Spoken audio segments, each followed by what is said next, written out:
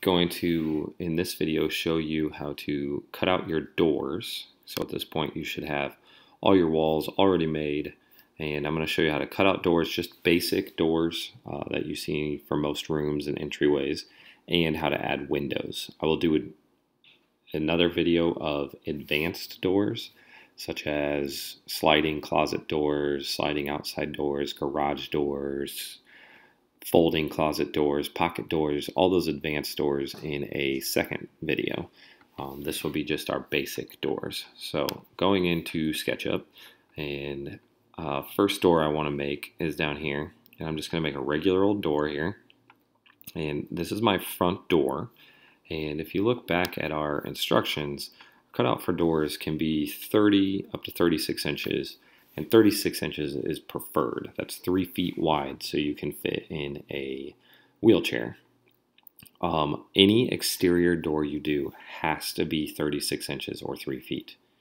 So make sure that you know that. All your other doors, it's preferred. It should be 36 inches, but sometimes they can't be because of where they are, and you've got to go a little smaller. But always do the biggest you can.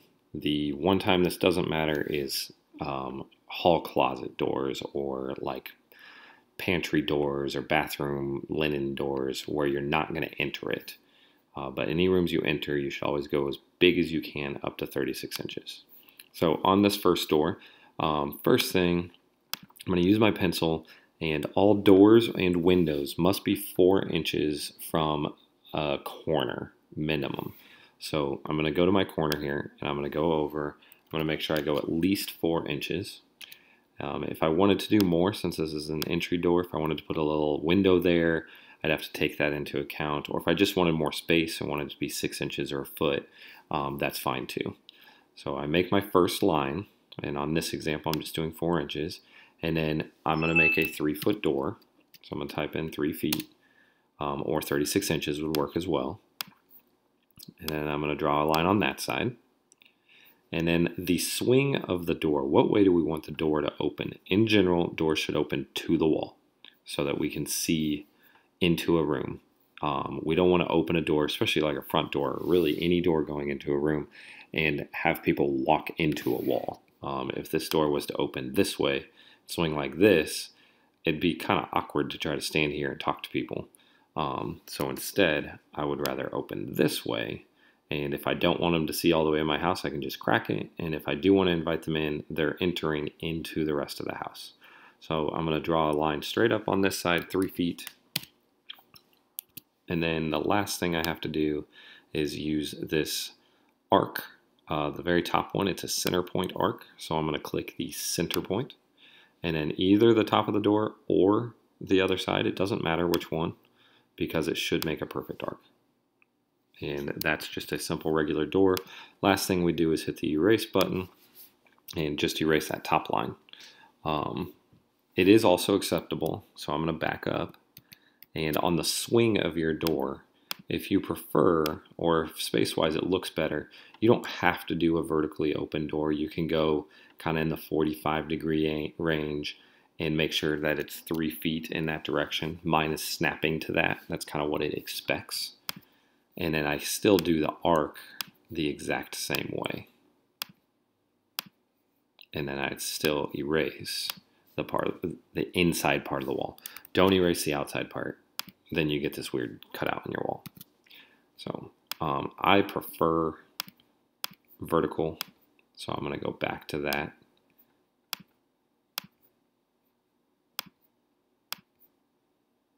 Ooh, must not have gotten three feet.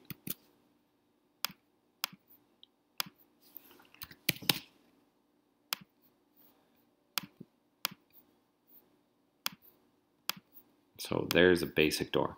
Um, another place I might put that uh, here, actually right next to it, I'll put a basic door right here. This is a closet.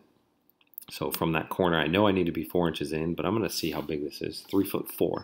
So this will actually be a great example. So I'm going to go four inches in.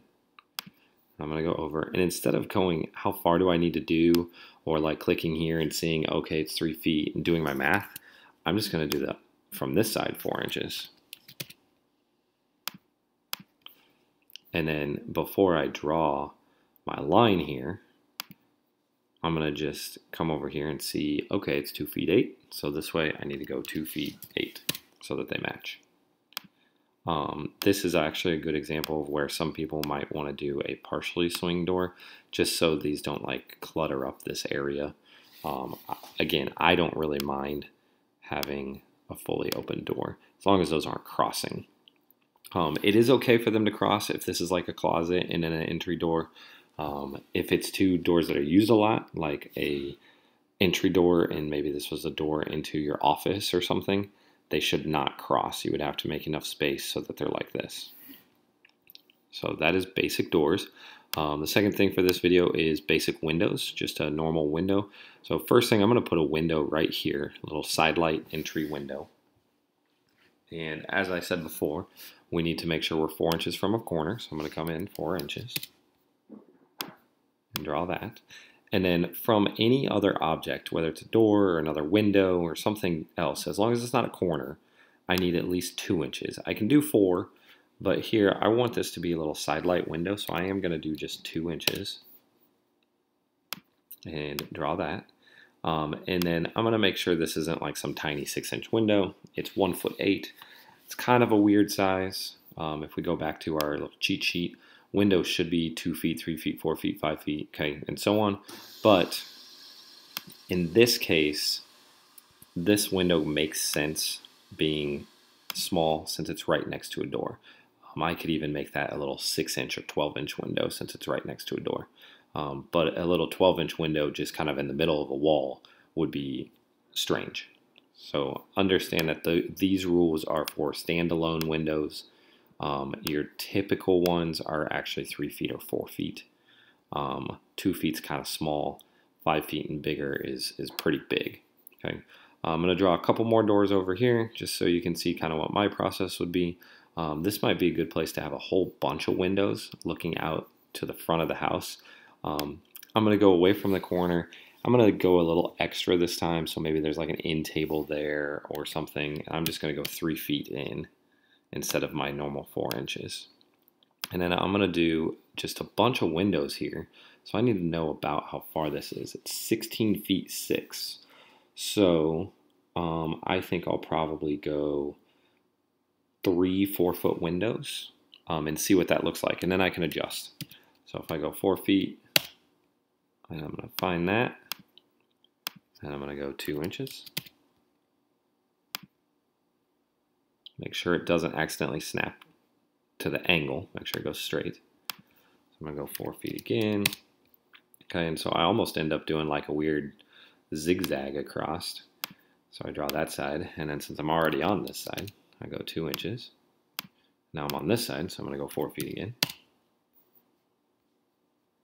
And there's my end point. Okay, so I have three four foot windows. I'm going to put a line down the middle of each one, um, just like I did on the first window.